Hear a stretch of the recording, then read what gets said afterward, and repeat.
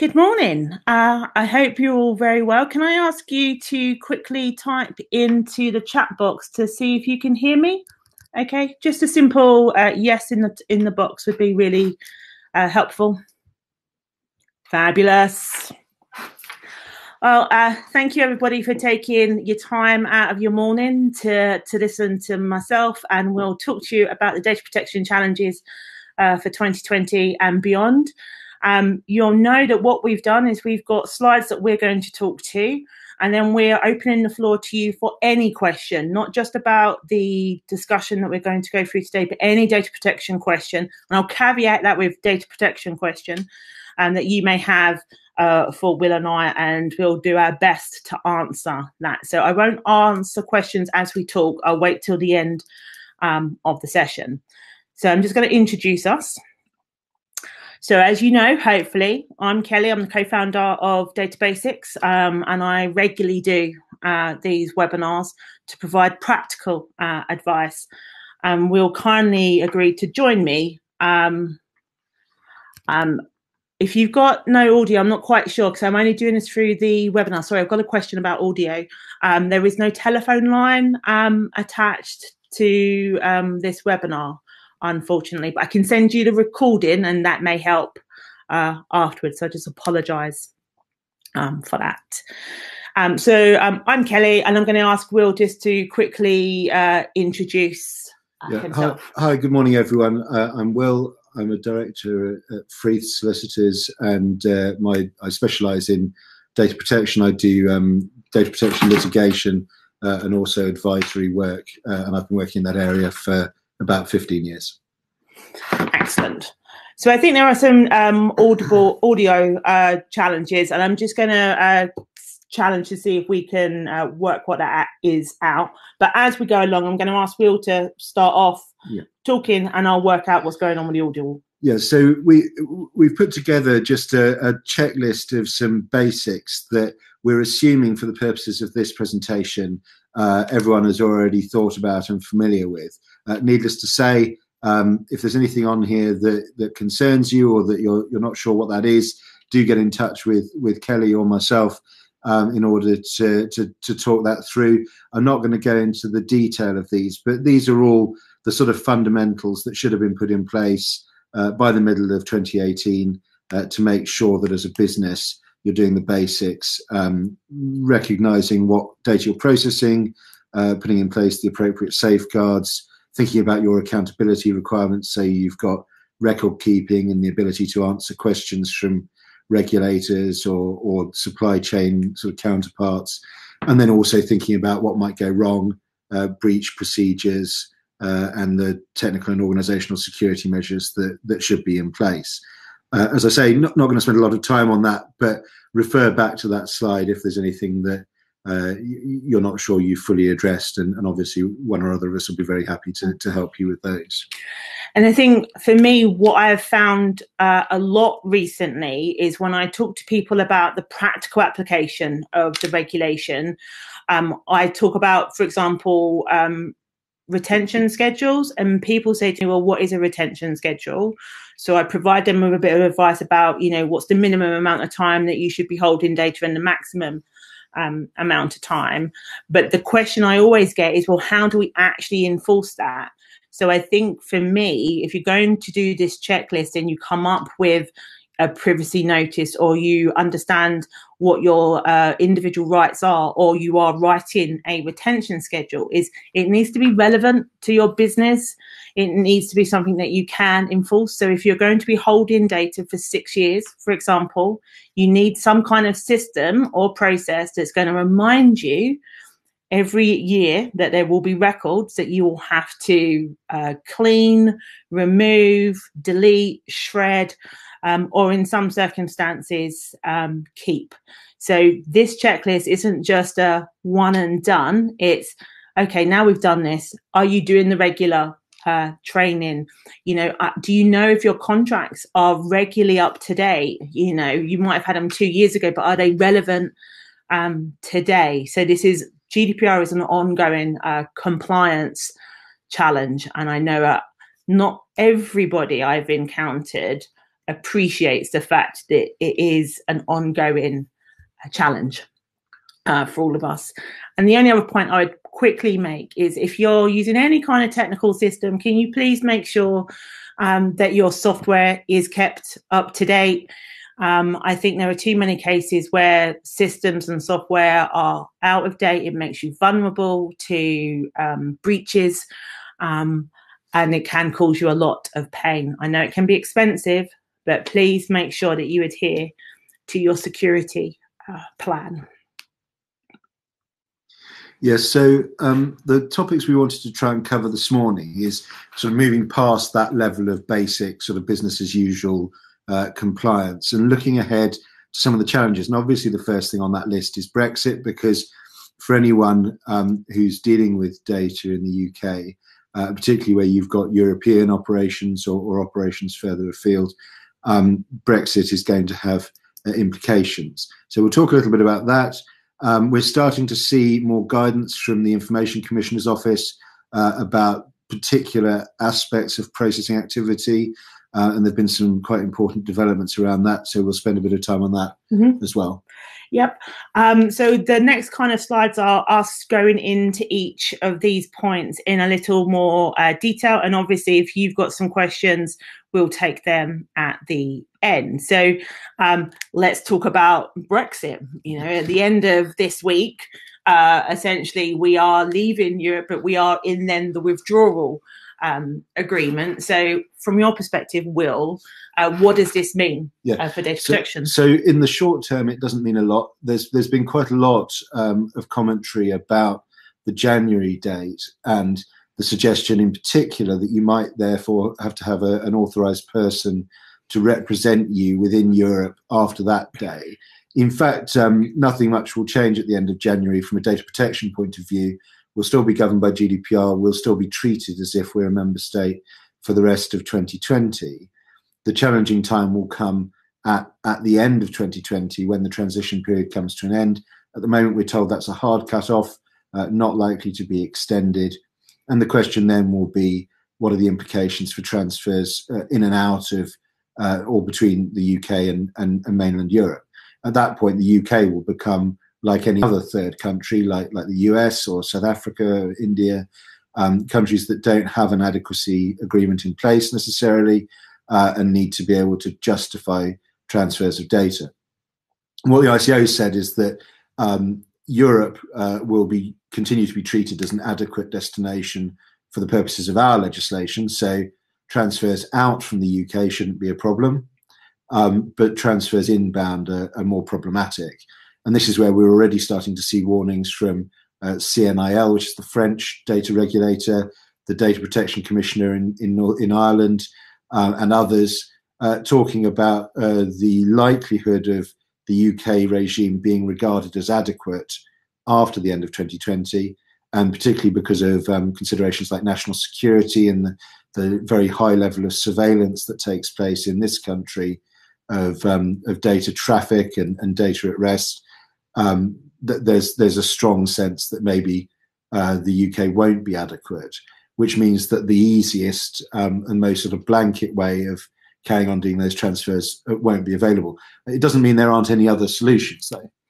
Yeah, and I think um, for me, I think one of the first things that you really should be doing, if you haven't already, is identify uh, your European customers that are sending you personal data for you to be processing so that you understand where the risks currently lie for you and make sure that you put in the appropriate um, measures. And at the moment, I think that is making sure that you have uh, contracts in place that are that you can actually fulfill and that you can um, adhere to in terms of the technical aspects of it, that you do have policies and procedures uh, in place, and that you don't just sign agreements that are given to you by your European customers, that you read them and understand what they are actually asking you to sign, and that you're confident that you can sign it. And if you're not, I would certainly advocate that you speak to someone with legal expertise um, around that.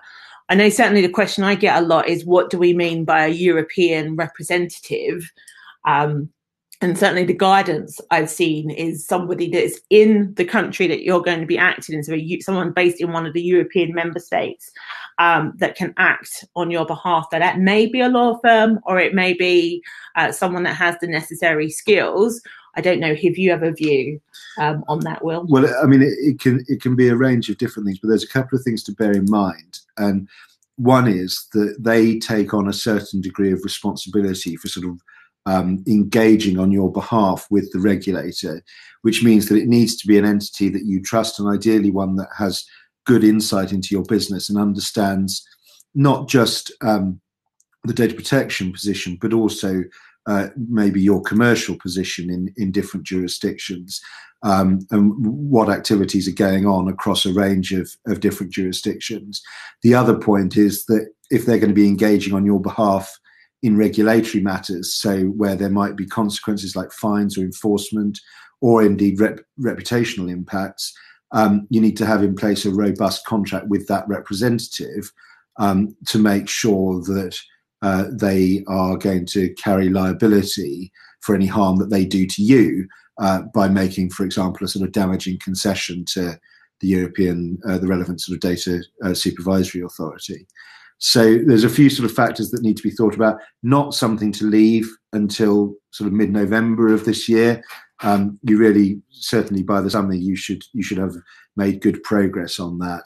Um, but each of the last two times that there have been um, the possibility of a no-deal Brexit, uh, I only really got contacted by clients about this in the weeks immediately before the deadline. And uh, if you can try and get that position resolved a bit earlier, uh, it's going to stand you in very good state because, of course, uh, guess what? Everyone else is going to be worrying about it in those last few weeks as well. Absolutely. And as much as there has been a few um, tweets on social media and, and notices saying that there will be an adequacy agreement by the time the withdrawal agreement comes to an end, um, both we and I were discussing this before the webinar.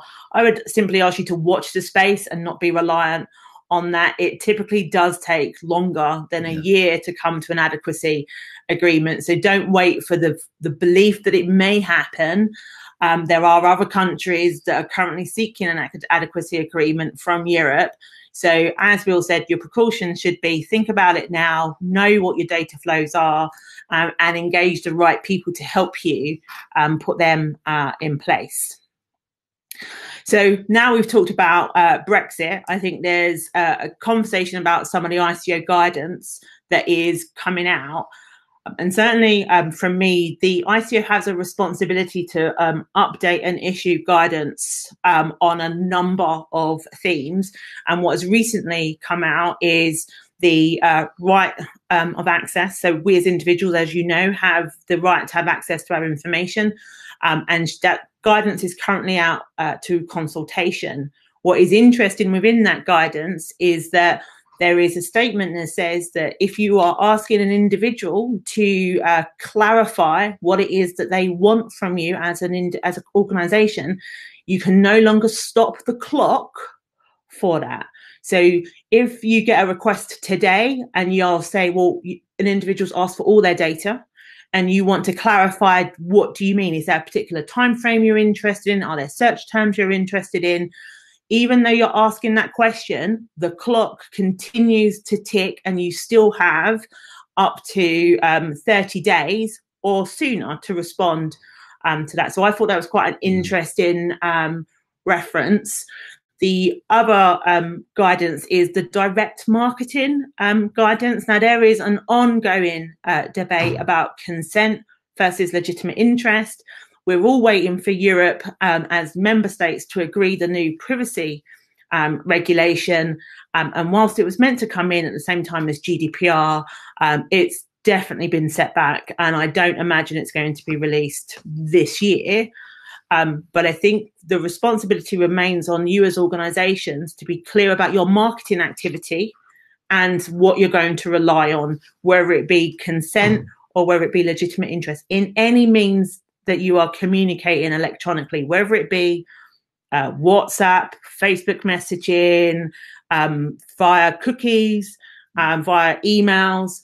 Um, be clear about your processing. Yeah, I mean that last point is is important because it's not clear from the title of the consultation, but it does have quite a lot to say about the placement of cookies and uh, all of the challenges that go alongside that, and that's a very big area. There was a report published earlier this mm-hmm. year um, which identified that a very significant proportion, about eighty percent or even more, of businesses across Europe are not um, complying with the existing law on on cookies in in the way in which they have pop up banners and the way in which um, uh, the cookies are being placed without necessarily getting uh, GDPR compliant consent. Uh, and even those that are superficially compliant uh, are likely to be sharing that data with third parties without appropriate disclosures being made. So, this is a, a big, challenging area. It's one that's likely to be quite heavily uh, looked at and enforced over the next year. And it's an area where looking at what other people are doing and emulating that isn't going to be enough because the vast majority of other people are, are also non-compliant. The, the ICO themselves uh, were non-compliant on cookies until uh, relatively, I think, late in the summer mm-hmm. last year. Um, so uh, you know, everyone that had copied their approach was then kicking themselves because that was wrong. I, I, also just very quickly want to pick up on the age-appropriate design mm-hmm. code. Um, there's a, that's now been finalised. That was consulted on last year. They've now published it. It has two big implications. Um, one obvious and one slightly less so. The obvious one: anyone who operates a site where um, they expect uh, or, or, where um, children are part of their target audience or, or, or prospective um, you know customers of families and, and people with children um, needs to think about making sure that their privacy notice and, and everything else uh, that's related to the protection of privacy online is configured to be usable by, by children. That means thinking about the language you use in the notices, making them much less legalistic, much more something that, that a child can can readily understand. Um, I heard a statistic. Uh, I don't know uh, that it's necessarily true, but the, the, average reading age of people in the UK is about 12. So, in fact, always you should be thinking about making language as sort of straightforward as possible, but particularly where uh, children are going to be a customer or a, or a user of the site, uh, you have to think about that. But the other implication of the code is that if it's a site that you expect to be of interest to children, even if it's not one that's aimed at them, the code also applies on you there. So, um, publishers of adult focused sites, uh, whether that be pornography, gambling, um, vaping, uh, sales of alcohol, things where there might be an, an appeal or an interest for children, they have to make very sure that children can't gain access to the site, possibly by use of something like an age gate, although that's been fraught with with difficulty, uh, or or by um, or by in some way uh, other way constricting access to the site um, to to people over the age of eighteen. But um, if you don't do that, then again, all of the content has to be uh, formatted in a way that's suitable for, for children and and they have to be able to understand any notices that, that they're given because you have to assume that they're likely to, to want to visit the site. And I think the other thing that is uh, is really interesting in what we're seeing a lot more of is the new technology that is hitting the market, which is really exciting people. You know, facial recognition. Um, there was an article about using um, AI and um, as part of a recruitment process. You know, and it's what are the data protection implications um, of that. Now, obviously, new technology is amazing, but people really do need to be thinking about um, things such as data protection uh, by design um, and by default, and doing things such as data protection um, impact assessments, which typically happen after the fact. So I get conversations, people like, "Oh, we've we've created this fantastic new piece of technology, Kelly. It's going to use AI, or we want to use uh, facial recognition. We've already come up with a prototype. We're ready to sell it to clients." And when I ask the question, "Well, did you do any kind of privacy impact assessment?" They look at me blankly. I don't yeah. know. yeah, no, uh, we had the same sort of experience on um, in in the work that I do, and I mean, as this slide sort of says, um, we're starting to see uh, much greater focus on this in two different ways. Firstly, from the ICO themselves, mm. um, they, have published sort of guidance on how, how you do a data protection impact assessment and the circumstances in which it's appropriate or mandatory to do it. But we are also starting to see, um, you know, where where we're acting for, say, the vendors of new technologies, we're starting to see uh, their customers uh, expecting to be provided with a copy of that impact assessment uh, at an early stage in the negotiation to be able to satisfy themselves that this is a product that's been sort of carefully thought about and, and that the implications of it are, are being managed. That doesn't absolve the customer from maybe doing their own assessment before they deploy the technology, mm-hmm. but they want to know that at a manufacturer level, uh, impacts have been considered and, and as far as possible mitigated through the through the design of the technology. And we've listed some questions about what should be um, assessed, and something that I'm quite keen on is asking the question as to whether or not it's ethical. And I think in the last year, there have been a number of reports in the press about how people are being underhanded in how they are collecting uh, information from individuals um, without them knowing. So I really want people to consider whether it just be the simple that you're going to be introducing a new HR system or a new accounting system. I want you to think about like Will said, have you considered impact assessment? But is what you're going to be collecting ethical? Um, and if you can satisfy that, that's brilliant. Um, but you also can ask those questions of the vendor who's providing with the tool. Is there anything else that they are harvesting behind the scenes um, about your information? So you have a responsibility to ask those questions before you invest uh, in that um, technology. And I think we're going to see a lot more um, challenges around uh, privacy and whether or not an impact assessment um, has been done. Yeah, just just on that point, I mean, I think one of the things that sometimes uh, hampers this is that people are somehow afraid of of either subjecting their their product or their their approach to scrutiny or they're worried that if they are open and transparent about what they're planning to do with the data, that it will cause people to be anxious or, or that they'll be criticized. And actually, my experience has been very different that the more open a business is, uh, the greater the degree of confidence that engenders, both in customers but also in, in end users.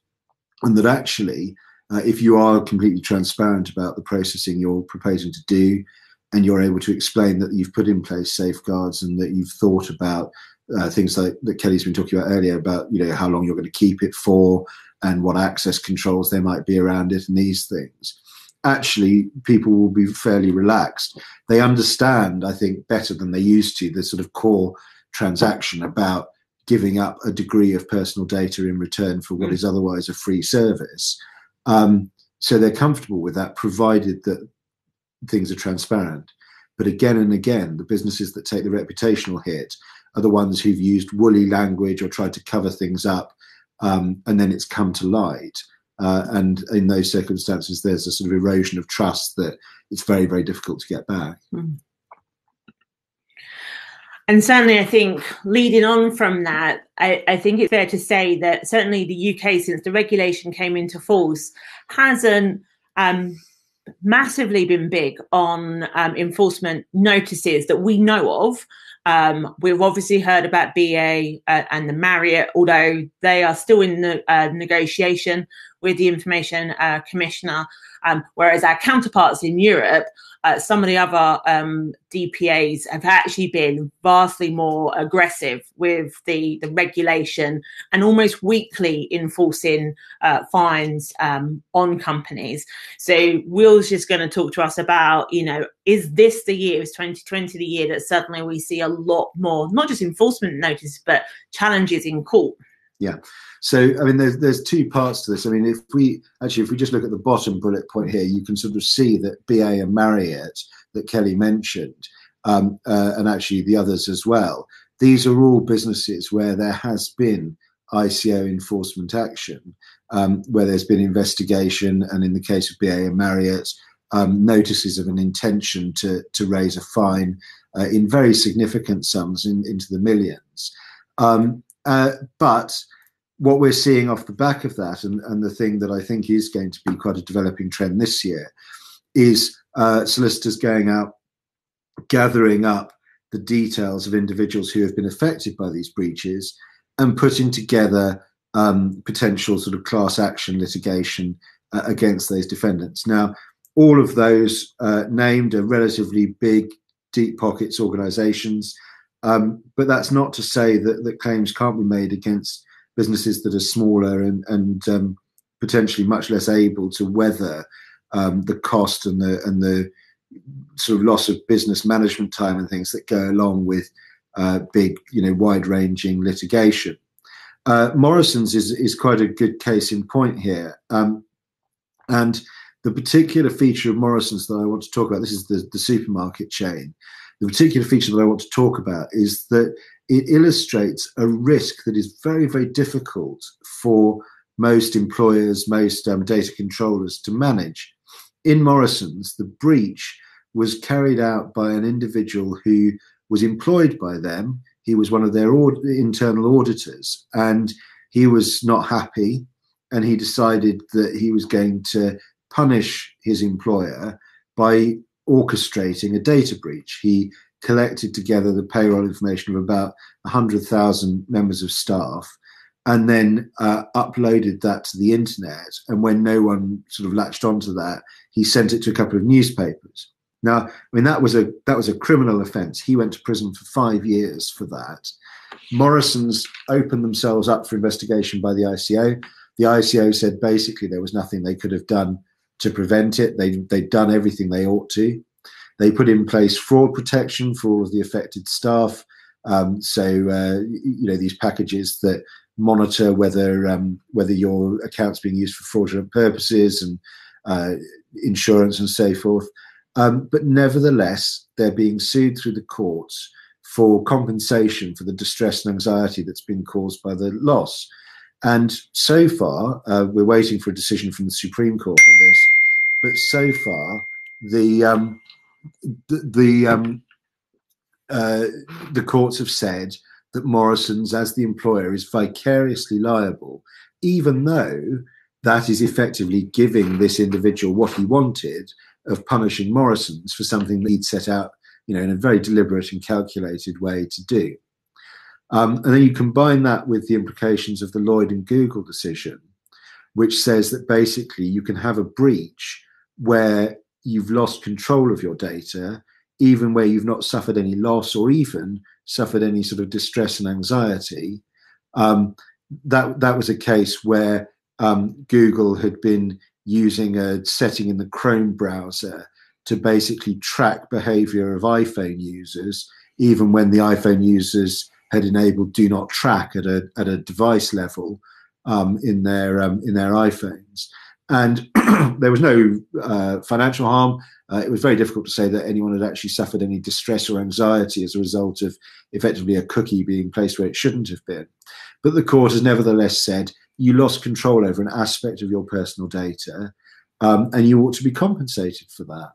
Um, obviously, the amount at stake for an individual claimant is very small, but this is where the threat of class action comes along, because if you've got hundreds of thousands or potentially millions of claimants, um, obviously those uh, the, the, the costs and the damages liability increase.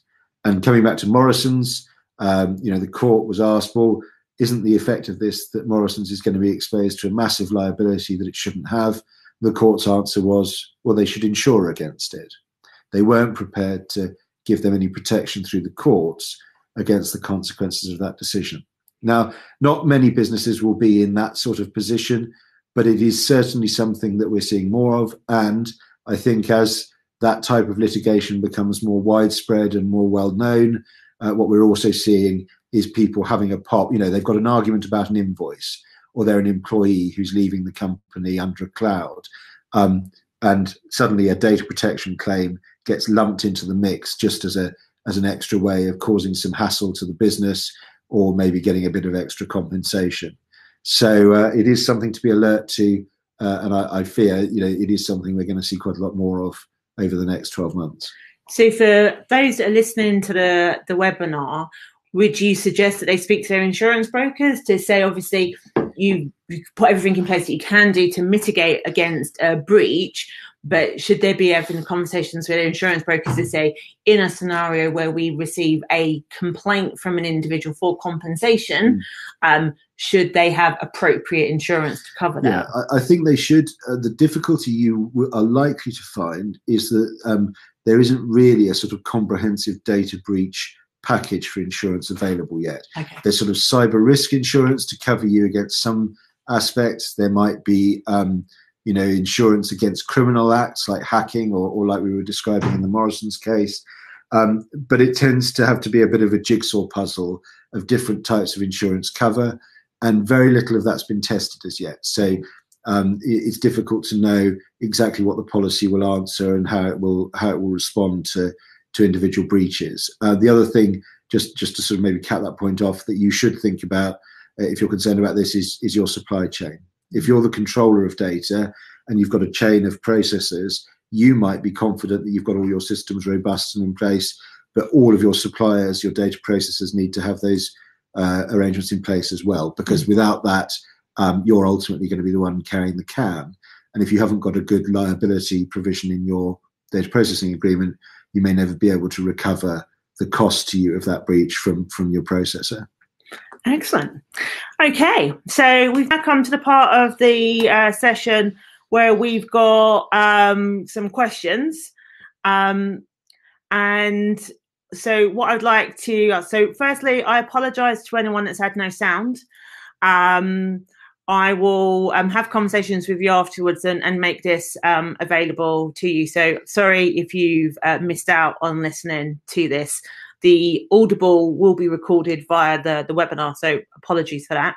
So the questions really are now for you. So um, for those of you that are on the uh, line, do you have any specific questions about what um, we have covered? Um, or do you have any specific data protection questions that you may have um, for us, uh, whether it be myself um, or Will?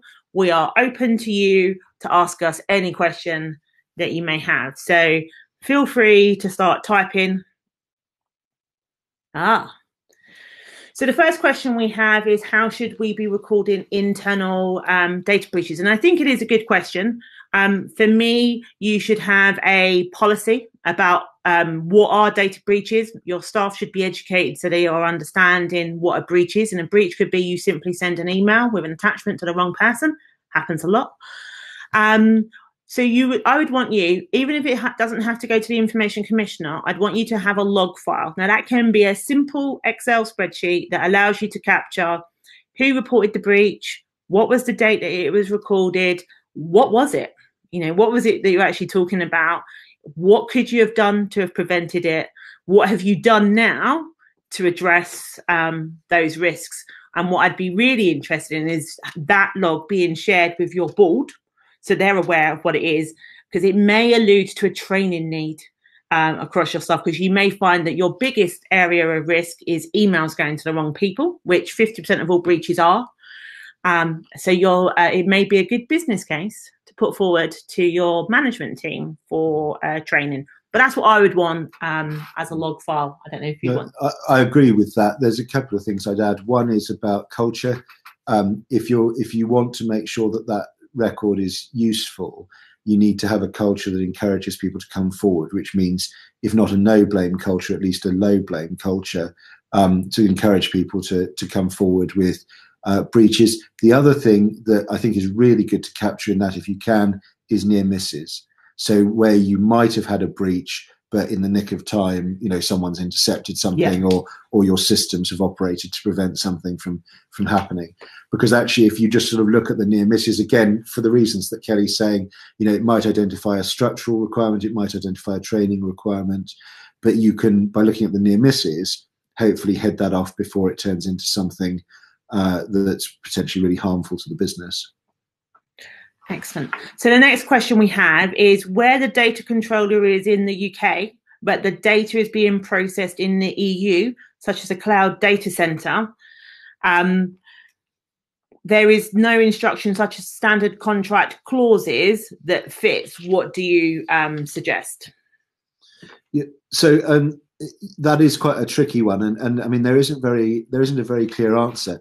The ICO's guidance actually, um, and this was given at a at a practitioner conference, but they they've subsequently endorsed it um, in guidance on their site, is basically to take um, the standard contractual clauses and modify them.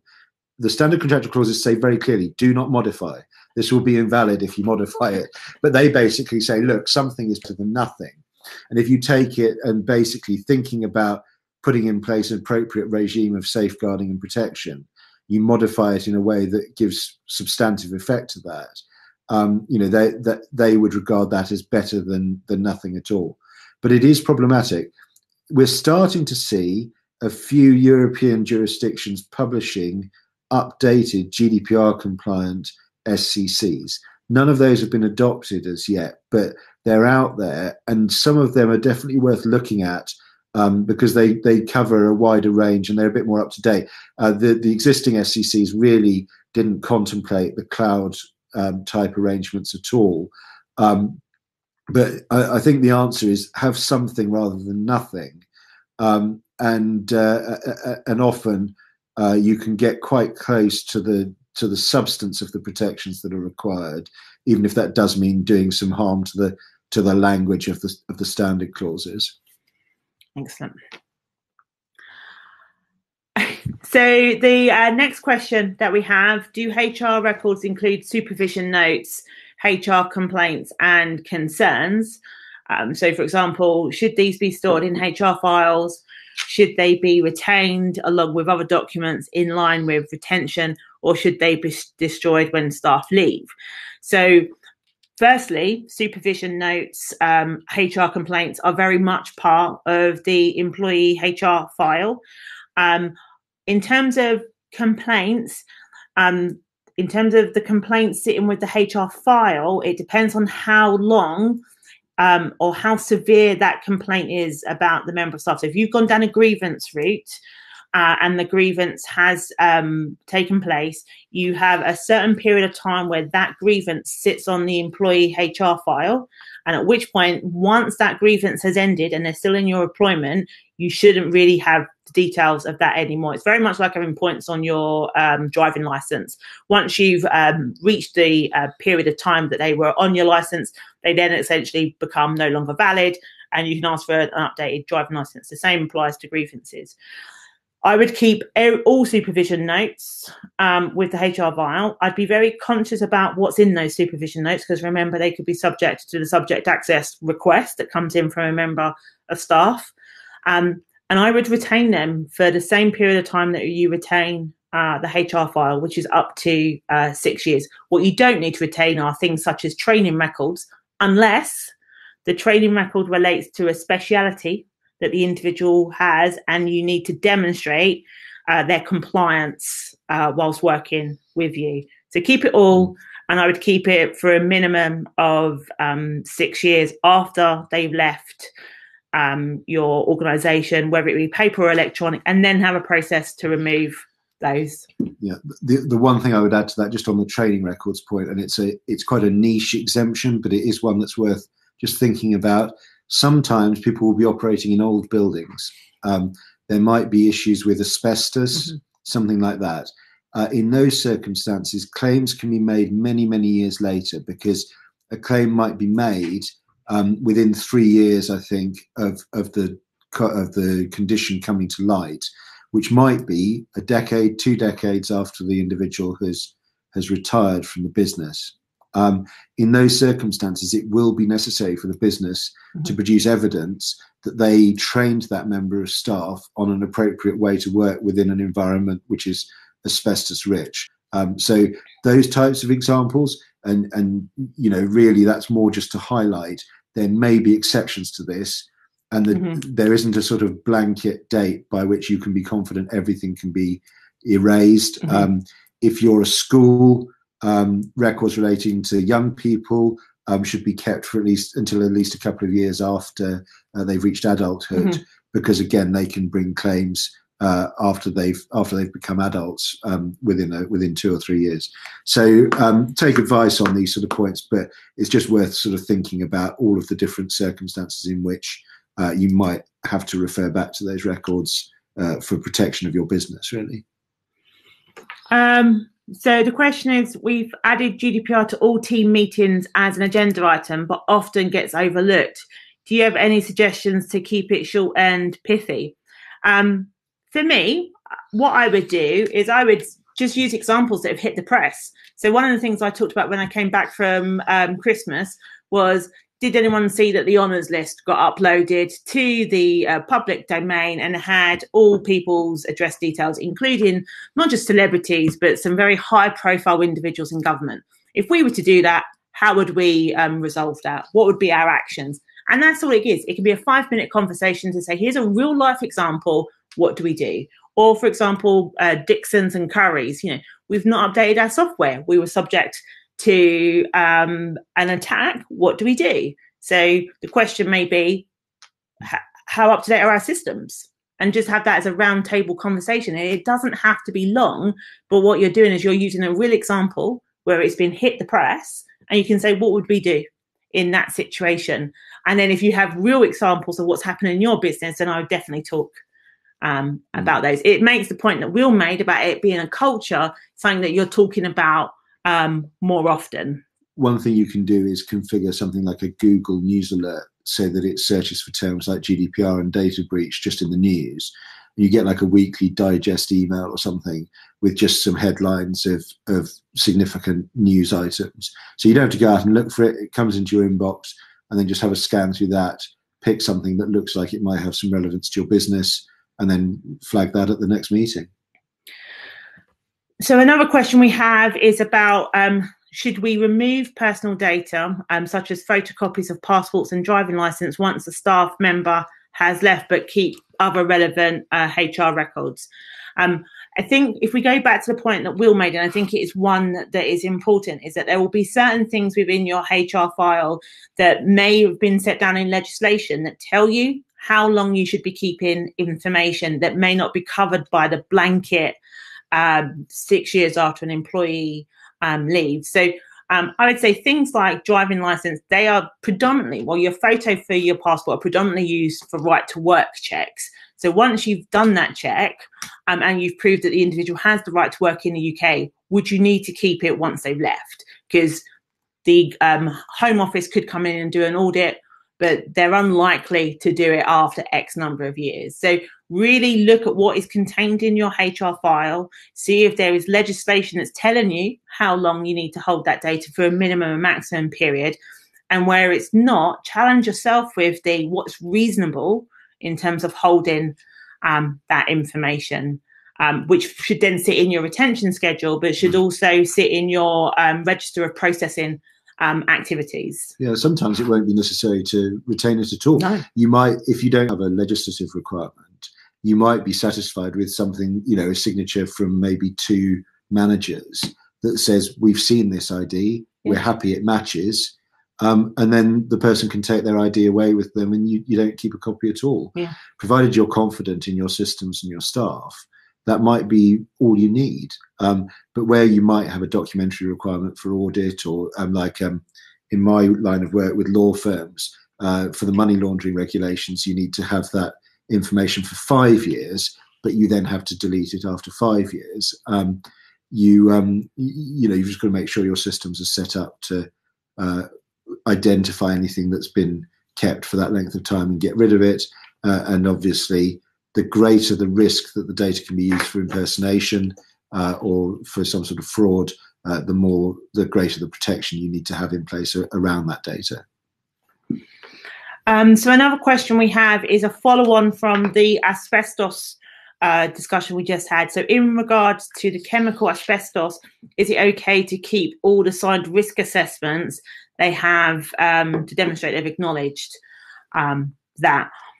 I would say that you want the records to demonstrate you've done the training, but you've also you've done the risk assessments, and you might want to look at things like the health and safety um, guidelines in terms of what they expect you um, to keep, because uh, they will set down what they're looking for um, in terms of information. Your insurance uh, may also stipulate what they're expecting as evidence from you to to they can defend you in the case of a um, a claim. Um, and some insurance companies are quite prescriptive about what they're looking for. So I would, if you're uncertain and you can't find it written down, ask your insurance provider um, uh, for sure. Um, so um, what we've got is a question about WhatsApp. I was told by a member of staff that we didn't have to worry about this because everyone gives their details by consent. Should this be in our uh, data controller documentation? I think that um, messaging apps, not just WhatsApp, um, are a risk um, because very much like anything, if you are discussing individuals within your business, if it's a social thing outside of work, I'm not bothered about it. But if in that group conversation you happen to make comments about an individual, remember that they can be subject to a subject access request. We've had to go to one client and tell them to give us a transcript of all of their text messages to be able to demonstrate that they did not say uh, disclose information about an individual. So WhatsApp very much is can be treated like email. If you are disclosing personal information about staff, about your customers, about your clients or your suppliers, remember it could be subject to the subject access uh, request. So you definitely want it documented. And also consider if you're using something like WhatsApp or, or Slack as a popular one as an actual sort of team uh, communication method, they are a they are a data processor. Yeah. You, you're going to have a controller processor relationship with them. So that needs to be documented in your records of processing activity. And you need to be able to show that you've looked at the contract. Now, obviously, you're not going to negotiate terms with Facebook around uh, what um, what can be communicated through WhatsApp, but they um, you nevertheless need to show that you've scrutinized those terms and thought about the safeguards that that puts in place and if, uh, as I think WhatsApp probably does, it talks about transfers of data to other countries, uh, that's something that needs to be included in your privacy notice to your staff um, because you, that, that that's something which you are effectively authorizing by running that software. Mm-hmm. And obviously, individuals have the right to say they're not happy with that use. So, if this is about communicating with young people, um, there must be alternative means. It can't be the only means that you're using um, to communicate. And again, do a risk assessment. Is that the most appropriate method uh, to be uh, engaging um, individuals uh, with? Because there is a risk. There always everything does come with a risk. So, do the risk assessment would be my um, suggestion. Um, we've got a question about cookies if a customer requests a subject access request, is cookie consent to be included in this? If so, how do we identify the user given that cookies will be associated with the device rather than a person such as um, an email address?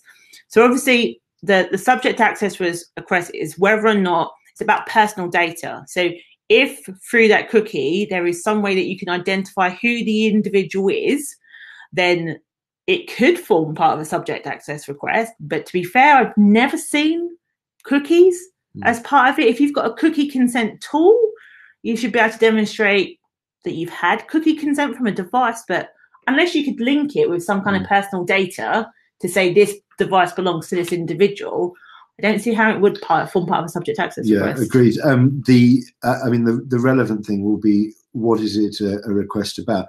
With cookies, it's a bit complicated because under PECR, there is a requirement for consent, but that's a slightly different requirement to the requirement under um, GDPR.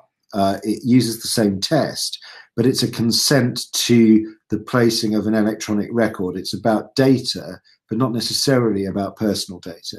So, depending on how your cookies are configured, they could be effectively anonymous. What you're talking about is a situation where um, you can't really tie that information to uh, an individual. It might still behave like personal data, so it might uh, remember the device and behave as if uh, it remembers the visitor.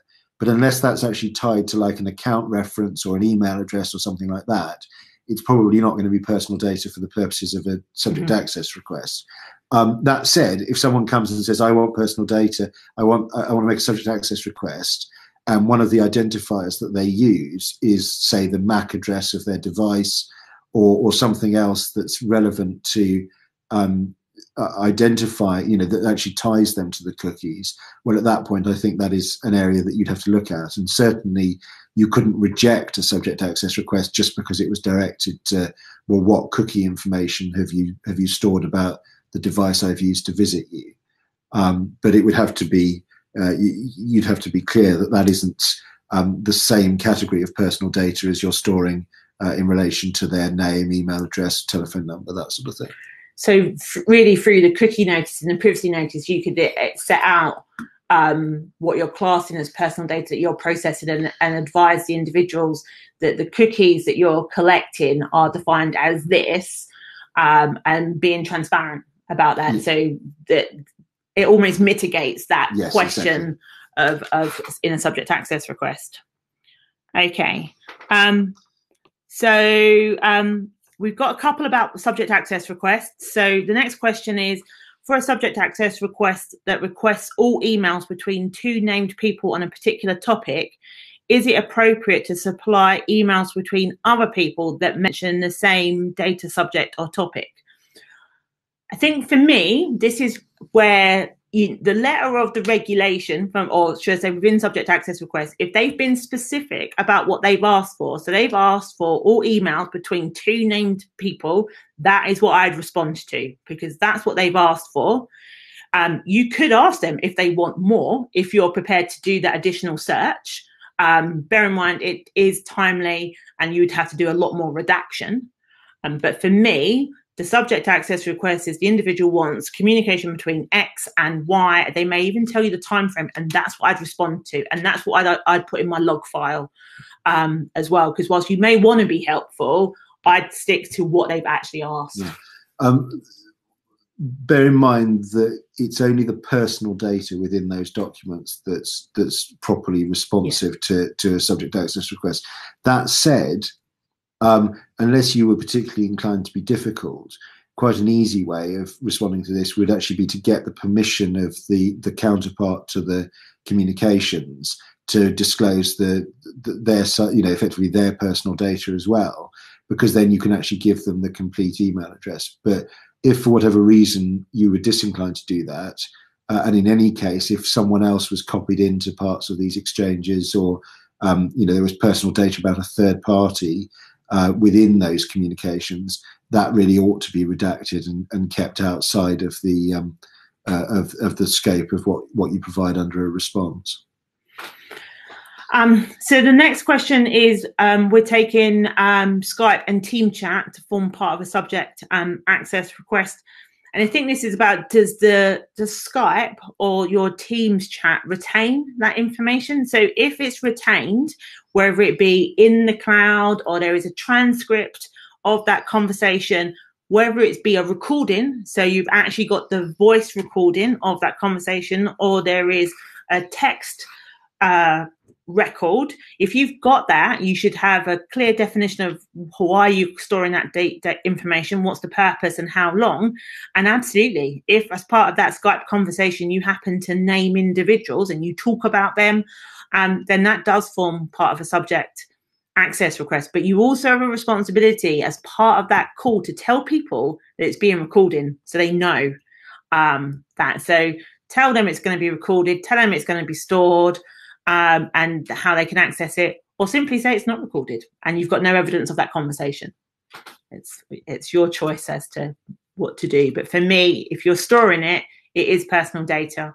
Uh, if you are disclosing people's names, uh, opinions about them, uh, and they do have the right to access that information.